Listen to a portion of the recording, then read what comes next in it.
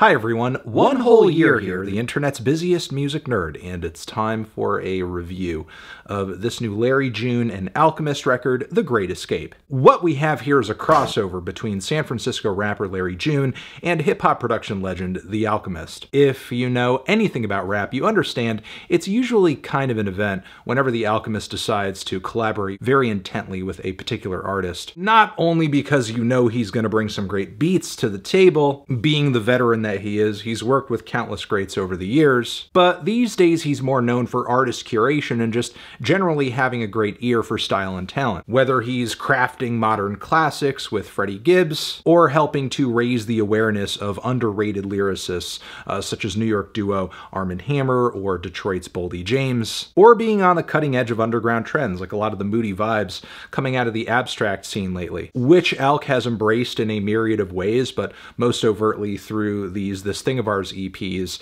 uh, that were recently released. All of this is a very small snapshot of his typically prolific output. And then there's Larry June, who's also known for keeping pretty busy. He's been putting out work for a while now, but in the last several years, he's released around a dozen mixtapes, albums, and collabs. His career thus far hasn't exactly seen the highs that The Alchemists has, but considering how long and consistently he's been at this, uh, one would say he's long overdue. And I'm sure a full menu menu of Alchemist beats will bring him some well-deserved attention. So yeah, I went into this project with my hopes pretty high, but actually listening to the thing, I'm just not sure why it exists. I mean, there are some pretty dope Alchemist beats on here with a lot of simple but tasteful and lush, evocative loops, like with the cinematic and dreamy keys and horns on Turkish Cotton, or the classy and woozy soul samples all over Porsches in Spanish. The sweet and sour guitar leads, as well as glamorous beds of strings on What Happened to the World, are pretty great too. There's also Palisades, California, where you have a lot of eerie tones that are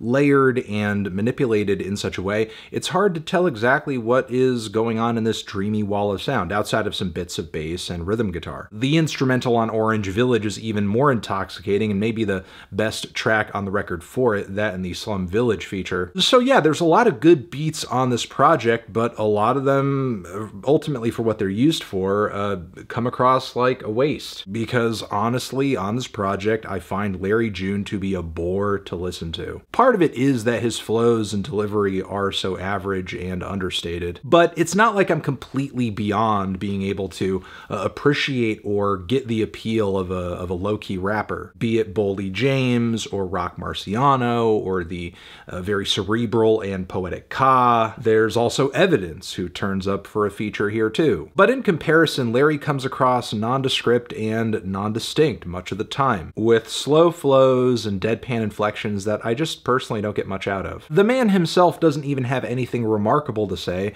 about his own talents and abilities. On the track 89 Earthquake, he says, uh, this that go hard never quit. Flow so adequate? Your flow is adequate? Like it's fine?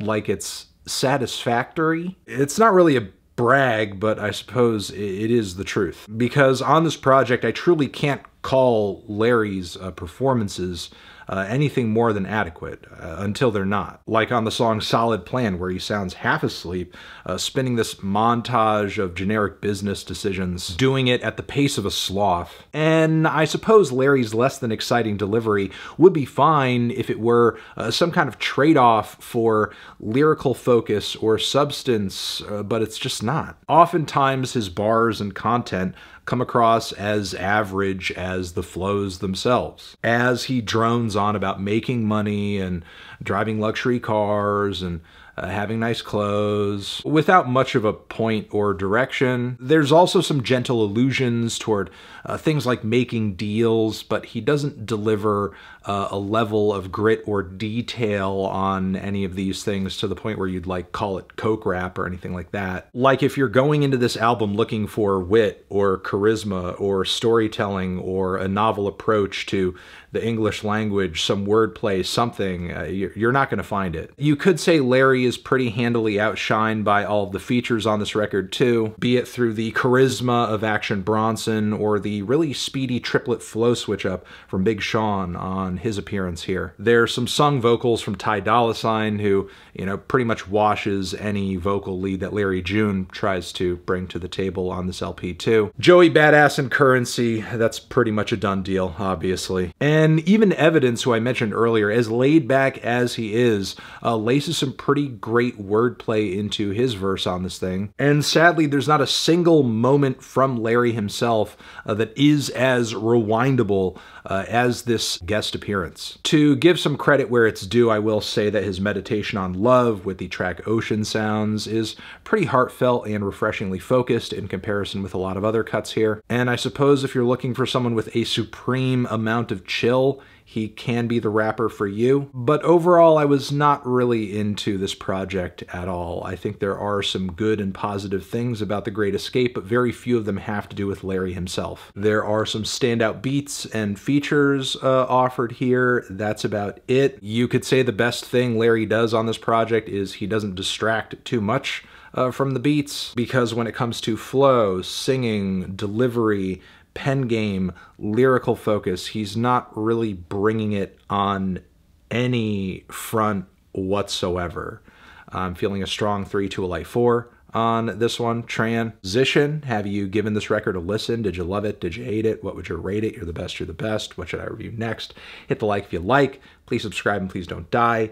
Hit the bell as well. Over here next to my head is another one you can check out. Hit that up or the link to subscribe to the channel. Anthony Fantano, Larry June, forever.